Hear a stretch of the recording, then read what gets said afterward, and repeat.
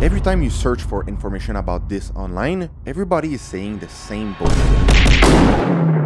Alright, so inside this video, I will share with you my best tips to create a great UI and UX design. We will start with the UI. This will be the importance, the balance, and the consistency. Big equal important. This is called the visual hierarchy. By example, you have this graph. Instead of putting the title bigger than the number, this doesn't make sense because what the user want is to see the number. So you should put the number bigger and with the color more white. So this would be a grayscale and this would be white and bigger. So this make more sense. This is called the visual hierarchy. The user need to see first what is most important for him. Next, let me give you another example. We have this application. So can you guess which one is better for the visual hierarchy? It's pretty simple. First, we have the price. The price should not be at the same level as the other information because the price is one of the most important thing when you try to purchase a house. So obviously, this one is better. We have the price first. We, we have then the luxury five bed villa.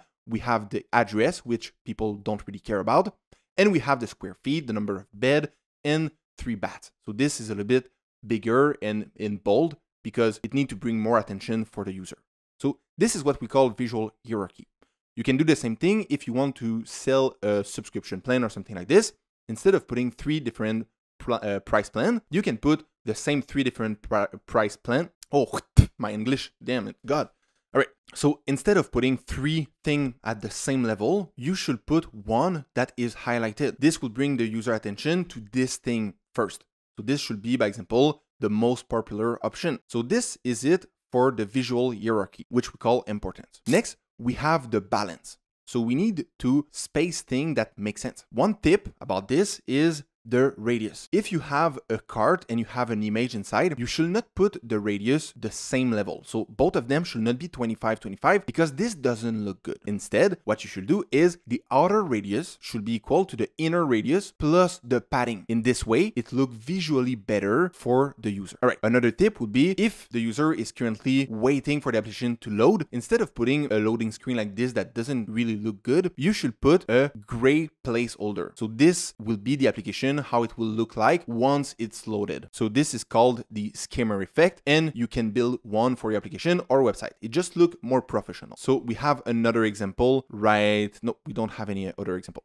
Anyway, so let's keep going. Another one is when you create a form for your application. Instead of creating the form like this, item, price, description, category, blah, blah, blah, blah, blah, you should create the form in a way that it will look like at the end product. For example, it will look, it will look like this at the end. We will have the image, the name, the price, and stuff like this. So the person, when they enter the information inside the form, they already figure out how it will look like at the end. So this is a little tip. Next, when you start with your application and the user go inside your app or your website for the first time, usually they will need to create some sort of stuff inside the app to see something. So instead of putting just a white space, nothing inside, you have no project, it's a good opportunity to create some sort of placeholder that you say create a project with an image and stuff like this. What you could do is instead of putting an empty state, you should create some sort of template and you say create a new thing. So this is just an idea for you. You can use this because otherwise it just look empty inside your application. It doesn't look professional that much. All right, so this is for the balance, the tips I had for you. Now let's talk about the consistency. This one is pretty damn cool. So same equal same. What I mean by this is you should not have different text inside your application. You should have one sort of text, one sort of font, if I can say. So what you should create inside your app is some sort of guideline. So you have your primary color, your variant color, and all these colors. This is another example of guideline. You have all your text first. You know everything, how it will look like, and you can reuse these elements inside your application or website anywhere. So this is guidelines. You need to create those inside your app. Next, we have the form. Inside the form, instead of putting the CVC, by example, or the expiry date, these are two things that always goes together and that don't take that much place. So instead of putting them in two different lines, it would be better to put them like this, okay? Just think about it when you create something. If they are linked together, try to make it look like they are linked together, right? Same thing for the country and the zip code. Next, I have two little websites to show you that you can use in order to make your UI design even better. One is called the real-time color. I'm sure there is other websites website, so it doesn't matter which one you use, but you can use a website that look like this. So you can define your primary color, you can define everything and see how your application will look like at the end. Does the thing look visually great? This is pretty much all your guideline. You can put them inside the website and try to see how your guideline works and if it look great. Another one I want to show you is the color contrast checker. So when you have a cart and you have a text over the card, you need to make sure that the contrast is good enough. An example of this is inside these two pictures. You see that we have two,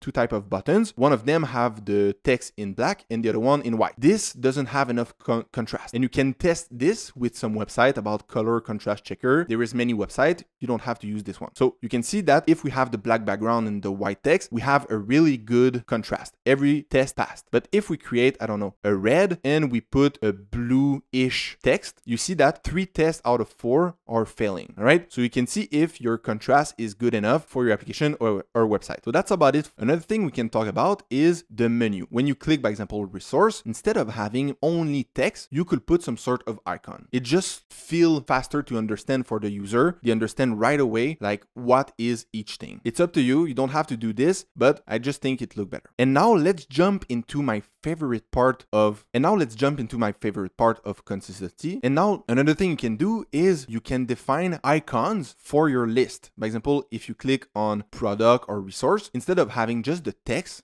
of all these things, you can put an icon just in front of it so the user can understand faster what is the thing. And now let's talk about my favorite tip and it's how to define the color. What do I mean by this? I've seen on Twitter this post and this guy was saying this look mid and this look clean. But I don't think it's true. I think it's just because you use a gray that is so much damn gray that now, yes, it maybe makes sense. But even though I don't think this is true, because what you should understand is the background should always be darker than the other elements. And this goes a little bit also with the importance because the most important things need to be bigger and more clear, more visually light. So that's why you want to create all your cards. So that's why you want to create all your cards lighter than the background. So so I don't think this is true. This guy maybe is drunk or something like this, but anyway, and this goes with the dark and the light mode. So let me give you an example that I found on this website. You can see that by example if we go inside the Q&A, the cards are wider than the background and this look good. And the same thing will apply if we change it for the dark mode. You see that the card are also lighter because the eye will go and look at the thing that bring more light to it. So because this is more light than the background, we will see this more. So this is what you have to remember. Cards go lighter. And one question you might have is what will difference a dark team to a light team? By example, if you have everything gray, kinda, where is the line to separate what is dark or what is light? This difference is if your text is white, then you are in dark, dark mode. If your text is black, then you are in light mode. Simple as that. So that's it. And yeah, so this was the garbage tips. I have already showed you this. And the real-time color is the website I have shown you also. So that's great for this part. Now let's talk about the UX. Now, now for the UX, I need to show you two things, simplicity and feedback. Let's start with feedback. So you can build your application or website with the Gutenberg principle. What it says is your user will scan the application or the website as fast as possible to understand how it works. And they will scan it like this with a Z pattern, all right? In this way, you're able to pretty much understand everything that is going on inside a website. So that's why we are doing this. And you should put your call to actions at these specific spots. So these should be the place where you put the most important action for the user, right? If you are inside a mobile application, you should remember that with the thumb, there is some place that are harder than other to reach. So you should maybe place your stuff inside the spot number three. Click those things. One example is if you have a login page. Instead of putting the sign in button at the top, which is really hard to access, you should put it at the bottom with the sign up. Something like this. Next, we have the always have a CTA, always have a call to action. And I will explain you later why, but you should always have a call to action because if you have no buttons and no goal for this page, doesn't serve any purpose. And this is a good segue for the last tips inside the UX, simplicity. So your goal is to bring the user from one place to another because when your user go to your website or application, they have a problem and they want the problem to be fixed as fast as possible and as simple as possible. So this is what we call a user flow. This is what will happen when the user go to your website and finish the entire process. For example, they want to purchase a pair of shoes or anything. They will start, they will go to the home page, they will browse, they will go inside the product detail page, add it to the cart, view the cart, check out, order confirmation, and that's the end. The problem was they need a pair of shoes. The solution is they have the pair of shoes at the end. And also, once you have created the user flow, what you can do is you can create the pages for this user flow. For example, the home page, the product detail page, and the checkout. And also, don't try to reinvent the entire wheel because the user is already accustomed to something. They have already visited some website or application. And if you create something that is too different, they will be confused. And you don't want this. You want the process to be as simple as possible. So you can take what is already in place and just make it simpler and better. So that's it.